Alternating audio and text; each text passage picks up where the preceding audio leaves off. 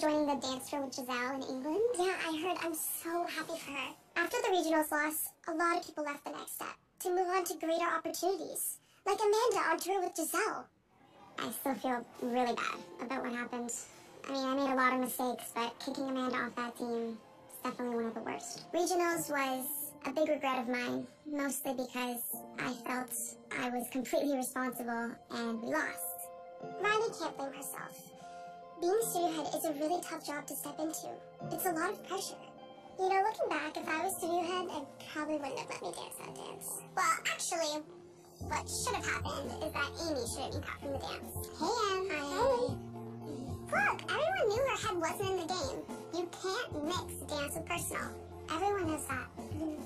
Anyway, regionals was a long time ago. It's in the past now, and we have to look towards the future. Clean start for the next step. Yeah, definitely. I'm excited for the future of the next step. I mean, I feel like there's going to be a lot of changes.